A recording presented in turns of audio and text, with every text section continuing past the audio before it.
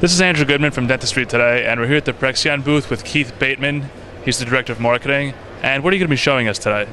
Well, I'm going to be showing you the Prexion 3D cone beam imaging system.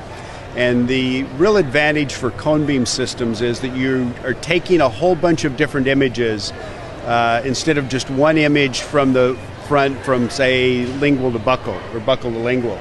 And what you do is you place the patient in the chair, you put them in, lock their head in to make sure they stay stable, and then there's an 8.6 second scan that takes up to 512 or even 1,024 images.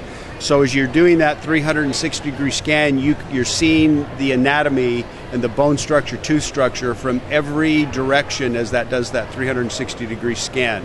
When you're finished with that, you take the patient out. That only takes, uh, like I said, somewhere between 8 and 17 seconds.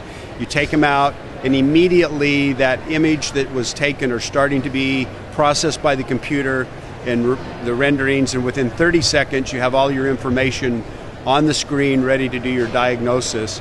And then, so let's go over there and look at the computer. The big advantage for 3D cone beam imaging is that you can find and you can look at any part of the anatomy from any angle, any direction that you want to.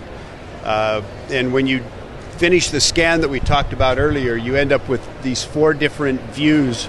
The most important one is the 3D image where you can rotate, look at any from lingual, buccal, side, any direction you want. And then there are all kinds of different templates that you can use to give you a better diagnostic capability. You've also got three other views, one from the top to the bottom, front to back, and then side to side. And you can scroll through these images and you can see any you know you can see any problem whether it's in the tooth structure the bone structure. Like for example right here we can detect caries even with this. It's so detailed. You find root fractures uh, miss, uh, mb2 canals. So it's a much better diagnostic tool than your traditional 2d images. Okay thank you very much